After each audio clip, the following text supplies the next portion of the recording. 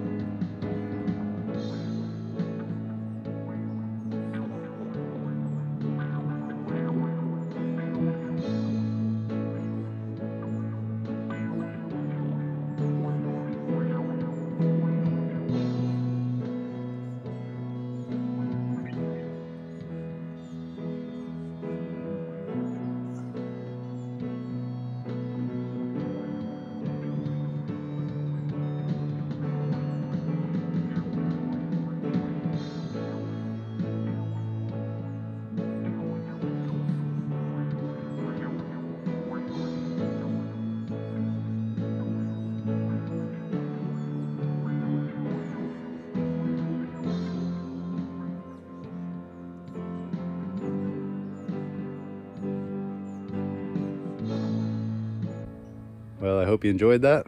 I'll see you next time on Mushroom Journeys.